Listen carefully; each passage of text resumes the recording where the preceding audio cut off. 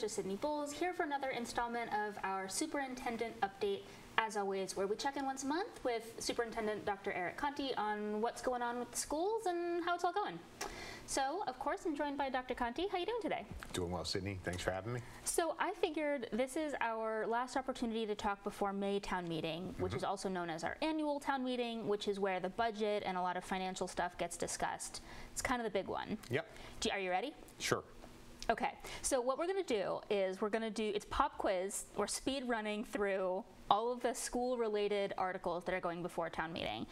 We'll hear a little bit about them. I know town meeting members are going to get the full rundown on May 13th and you know in the in the days following, but we're going to do a little preview. Sound good? Do my best. Okay, so we're you know this is not graded, so you know, but I feel like I feel like you know what these are about. So first one right off the top, BHS HVAC repairs. What's mm-hmm. going on? Building is uh, what opened in 1970 roughly, so um, we have it's 365,000 square feet. We have the original HVAC systems, and we need to rebuild sort of two of the major units on the roof. And um, I know there are discussions about a new Burlington High School, but we have to keep this building functioning and running well uh, during the interim between now and whenever a new building is uh, decided or built or renovated or whatever. You anticipated my, my question on that one because I mean the the state of the the HVAC system and the boilers is kind of one of the main issues at stake for the repair or replacement of the building. Yep. But it could be like a decade potentially before there's a ribbon cutting on a new. Yeah, well, what- however, the, Yeah. the building has to function. We Right. have kids in it today, there'll be kids tomorrow. So, um, yeah, it's, it's um, the balance between um, sort of the immediate functioning and needs with Mm-hmm. uh, long-term investment in a new facility. Uh, The building has been maintained really well, as have these systems. They're all past their sort of expected useful life, um, but there are some that need to be rebuilt. Right, and then you know right after that you've got one uh, refurbishing the boilers at the high school as well, 150,000.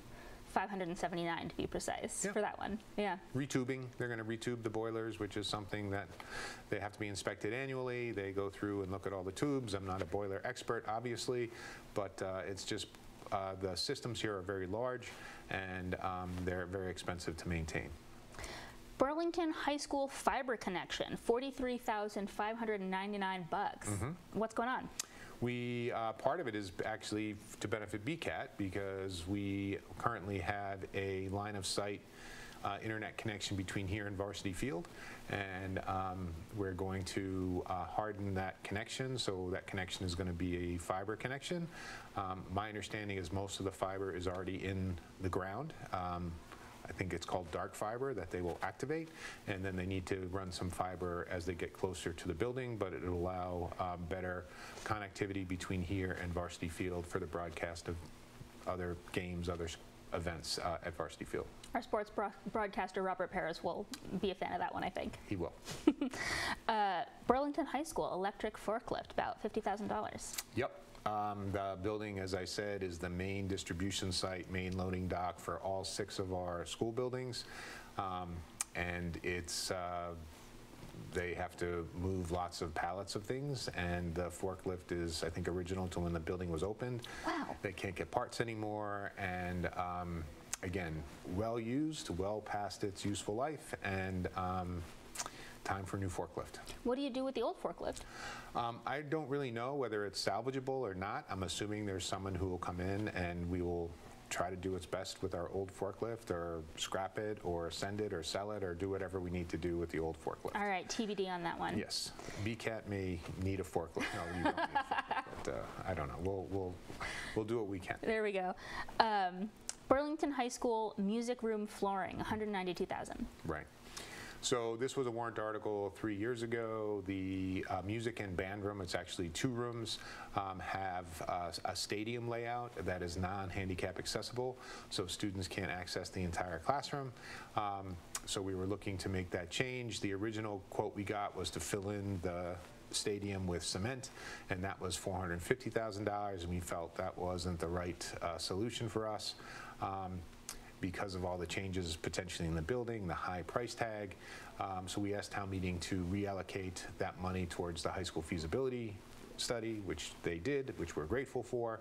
Um, This solution to the accessibility issue is um, using risers, and so they're, they're temporary but permanent. So they can be utilized, but they also can be moved, and then the risers can be reused. So if, again, in 10 years, you're saying we were to build a new high school that had a fully accessible classroom, um, we could use the risers uh, elsewhere on a stage, we could use them for graduation, we, we use risers quite a bit. So it would be an asset to the school district and to the community, um, and we feel it's a much better solution to the accessibility issue in the music classrooms.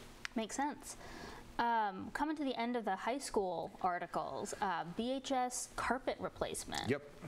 Again, we have a thousand teenagers running around. There's some carpet, and there are places where it's ripped. And once it gets ripped, it kind of becomes a trip hazard and gets worn out. And uh, what we find is if we do a better job maintaining the space the kids are in, they do a better job taking care of that space. So it's really important for us to, again, keep our bathrooms updated and clean, and our hallways and our custodians do a wonderful job. But at some point, carpets wear out, and they need to be replaced. And again, because we're thinking about a new high school doesn't mean we stop taking care of the high school that we are in. All right, we got some district-wide items. Uh, security updates, $82,000. Yep. Sounds like walkie-talkies, emergency buttons, comms devices. Is this is this like upgrading stuff we already have? Is this adding more layers?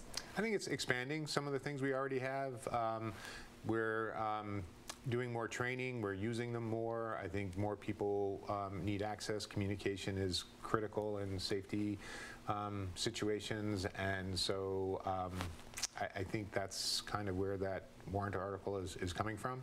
And um, I I know it's expensive, and it's, uh, I, I hope we never have to use this stuff in, the, um, for one of the reasons that it's purchased, but I still think we need to move forward with it. Dr. Conti, I want to pause here in our in our pop quiz rundown here. This is something that, that I sort of feel or think as someone who's not in the school world, um, and I wonder if, if if this is founded. I think uh, maybe I'll speak for more than myself here, for audience members who feel similarly or have similar questions or, or feelings. Is that school districts are asked to do so much more now than they were 20, 50 years ago, however far back you want to go. Five years ago. Yeah, I mean, so like the, the, the all of the things that you're tasked with doing, it's just it's just rocketed up. Am I right in, in feeling that or uh, thinking that, witnessing that? Yeah, and, and I think we have obviously a growing diversity in our classroom, growing needs in our classroom. Um, I think schools are being relied on to provide a lot, sort of, they call it wraparound services, where we're certainly trying to teach content, um, but also looking at the well-being, health of children, families, um, and um, And high tech security and- services for and- six buildings. and safety and Yeah. uh, privacy and um, you know many of those issues. that, digital uh, services, devices, Sure. stuff that, you know, it's a lot. It's a lot with, you know, a budget that hasn't necessarily matched that. Is that, am I right about that or am I? Um, well, again, I think the budget in Burlington has matched that. I think this community is very generous and supportive of schools, so we have, we do have the ability to Yeah. catch up. But it's more, it's more than just buying the stuff. It's actually drilling. It's actually getting professional development. It's actually utilizing the equipment and working together. So there's always a, a, a component that, i again, it's more than just the radios. It's how to use the radios, when to use the radios. And again, we have a great relationship with the Burlington Police Department, our, you know, the Captain Hannafin, Detective Lyons, um, really have taken us through some tabletop exercises. the school resource officers? Yes, and really helped us do that. Captain Hannafin is not a school resource officer, Mm, okay. but I think he oversees uh, Okay. everybody and has um, helped us um, with the scenarios that would surround um, certain safety situations. Sure. Should we keep going? Yes. Okay. District-wide maintenance vehicle, vehicle, 65,000 bucks. Yep. We have, again, I think six buildings. We have eight, 900,000 square feet to take care of. We have, I think, four or five maintenance folks, and with only one, essentially one vehicle. We have two vehicles. One transports uh, a lot of materials between the buildings, and one maintenance vehicle. Um, it's just not efficient. We need a second maintenance vehicle so we can have two crews doing separate maintenance projects. Um, Some of the guys are using their own vehicles, and they have to pack and unpack the vehicles, and uh, having a maintenance vehicle will allow them to leave um, tools in there and just to be more efficient. So um, it's, it's, we we have the need, and I think we can justify the need. All right. One of the larger items, district-wide curriculum review. Uh-huh. This is something that uh, Dr. Lisa Chen, the assistant superintendent, has been working on. Is this the same thing, or is this something different? No, same thing, and it's sort of, if, we, ha- we have the list prioritized, and I know this isn't the top priority, but this is always my top priority. So um, we need to jumpstart some of our curriculum review process. There's um, obviously some of the uh, curriculum work, or most of the curriculum work annually is in the operating budget, but we, we really need to step back and look at our pre-K to 12 um, scope and sequence, curriculum resources and training, make sure we're aligned with state standards, and really, it helps us make better decisions and um, more cost-effective decisions across sort of the entire uh, grade span of our, of our districts. I know that uh, Dr. Chen is, is looking at math and literacy sort of as the two primary areas, and um, and having this warrant article will really help us uh, focus. It requires time, and we have to bring people in um, after hours during the summer. It requires a lot of training. We have to bring people in from the outside, and again, those are costs that aren't normally covered in our operating budget. Okay. Uh, 245,000 for that one. Sounds like a lot of contractors and services and In time. time. Yeah. Yeah. Mm-hmm. Okay. Okay. Um, Francis Wyman generator, $95,000. Yep. Pretty seems pretty straightforward. Yep, the generator's there is past its uh, useful life. We want to make sure that if the power goes out, we have um, backup power at the, at the building for emergency lighting and, and other things that you can imagine. And again, large building, large generator, um, and uh, again, relatively straightforward. Yep. Okay. There's four for Marshall Simonds Middle School here. Three of them kind of seem like we could take them all in one go. There's bathrooms, locker rooms, and furniture. Yep. Um, seems like the kind of thing that you just got to spend a lot of money sometimes to keep that stuff. Yeah, I think the questions about Marshall Simonds have been, didn't you just uh, renovate Right. the building? And uh, those areas weren't included in the renovation, so um, we're not re-renovating spaces we've already renovated. I think uh, the enrollment at the middle school has increased. I think we're trying to use every single space. Um, Maintaining bathrooms is something that actually is really important, and um, as I stated, uh, If students enter into a well-maintained, clean bathroom, they treat that space better. Um, And so I think it's always important for us to keep up with that. And then I think the, one of the locker rooms is being underutilized. They don't use locker rooms as they did when the school was built. And again, it wasn't a space that was renovated that we want to um, expand more instruction into. And then the last one you said was uh, Furniture. furniture. Yeah. So in the, uh, the old shop areas of the middle school, they have um, workbenches that are affixed to the floor. Um, And we thought we could get away with them, and we have for, I guess, seven, eight, nine years. And um, the space we need now have, need tables that actually move or more dynamic, uh, so we can create more maker space. So we just need um, new modern furniture. And again, we, we did reuse the existing furniture, um, but it's, it's time we move on. Last one for Marshall Simonds critical building systems. What does that mean? Um, The Marshall Simonds, again, was an addition renovation, so there's an older part of the building and a newer part of the building, and some of the systems um, have um, entered or come into use at different times, so uh, they don't really talk um, well to one another, so you want the fire alarm to talk to the um, the door closers to potentially talk to the heating and cooling system. And so you have to invest basically in a computer that can speak to a bunch of different automated systems. And um, again, not my area of expertise, but Mr. Cuna assures me that um, this will allow the building to um, be more efficient and to um, be smarter. We're coming to the end of our pop quiz here. So far, you're acing it. Um, Francis, or Francis, uh, Fox Hill cafeteria tables, 55,000. Yep. Um, we have a uh, certain cafeteria table that we use at the elementary level. It's circular with built-in seats. It uh, is on wheels. It's easily moved. Allows the custodians to clean more easily. A circular table allows more socialization. Um, again, all good things. Um, I know we are asking for a new Fox Hill. Uh, These tables could either be used in the new Fox Hill, we're not looking at getting rid of them. If we wanted to buy new cafeteria tables with um, the new Fox Hill building, then we would reuse these tables uh, at the other schools. So again, Okay. it's a, it's a very standard cafeteria table that we use. Fox Hill does not have those cafeteria tables now. They have long rectangular tables. The laminate's starting to come up. We've repaired them numerous times, but it's, it's time for us to get new cafeteria tables. I hear you anticipating some of what you expect town meeting to say on that one. Yeah. About um, why not wait and do this with the, with the renovation? Yeah. But you're saying, you it know- Might be three, four Right, years, and um, right. we have health, safety issues tomorrow. So uh, we're trying to balance that out.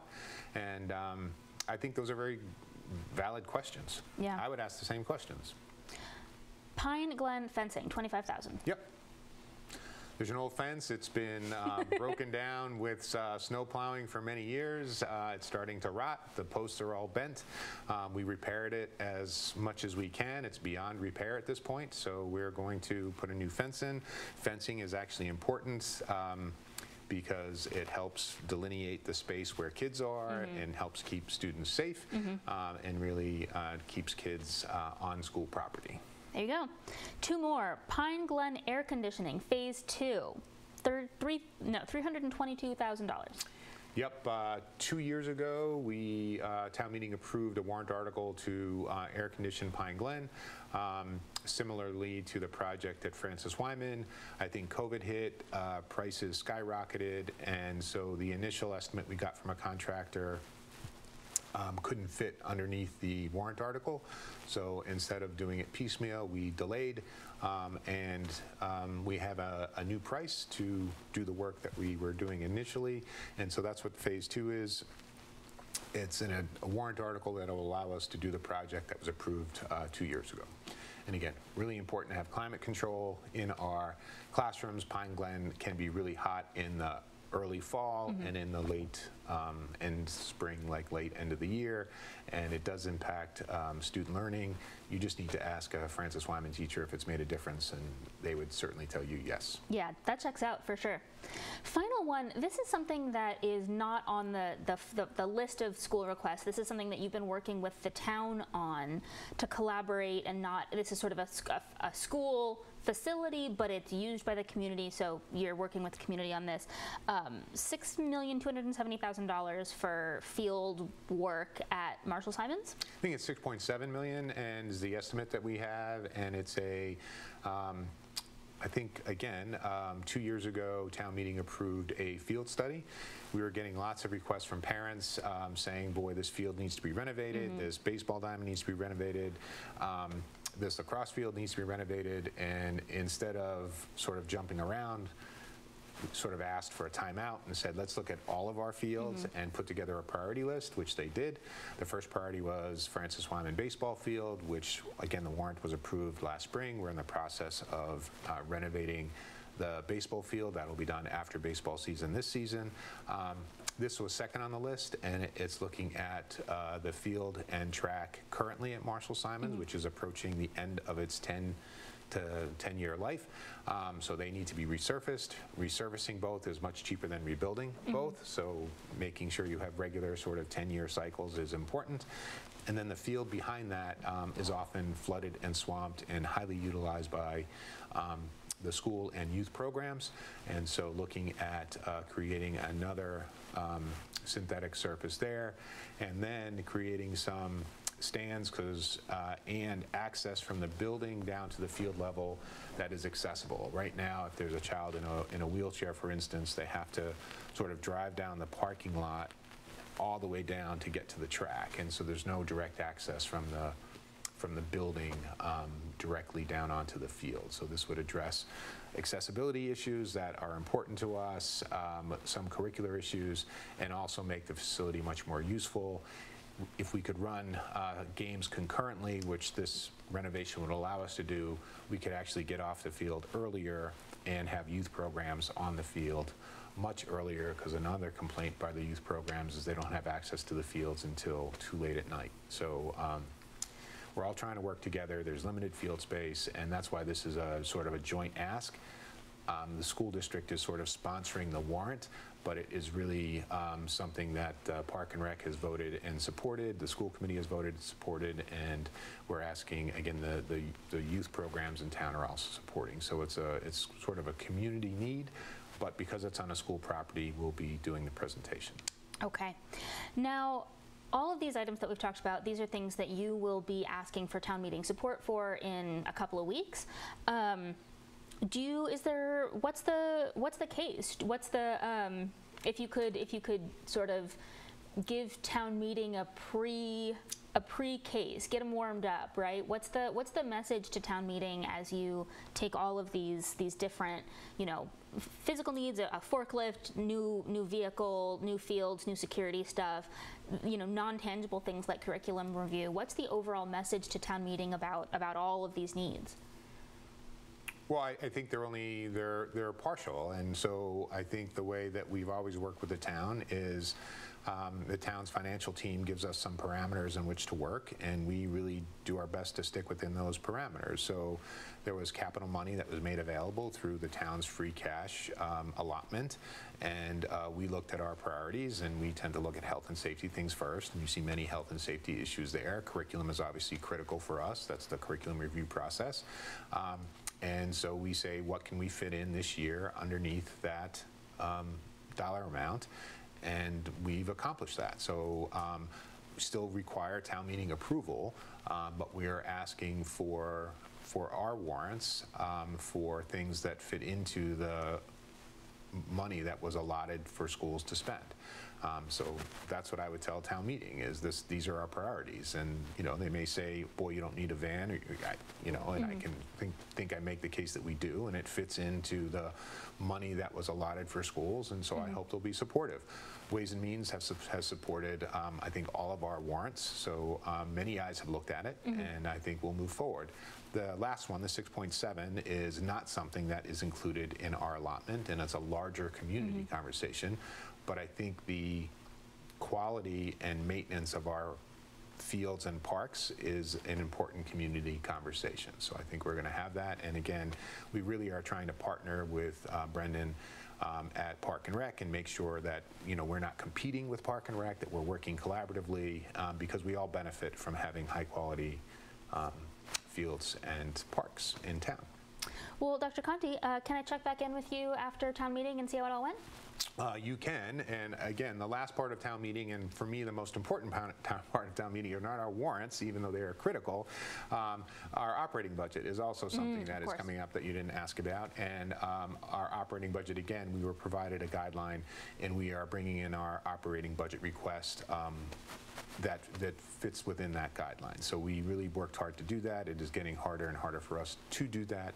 Um, And there are still some unknowns that we have to deal with. We have some unsettled contracts, but we are asking town meeting to support um, an operating budget that does fit in with the town's um, request for us to, to fit under. And again, that was unanimously supported by Ways and Means. So we're hoping that conversation goes well as, you know, in addition to the capital warrants you went over. All right. Uh, thank you as always for joining me. Um, Dr. Conti. Sydney, thank you. All right. That was another update with Dr. Eric Conti. I'm Sydney Boles. Thanks for watching.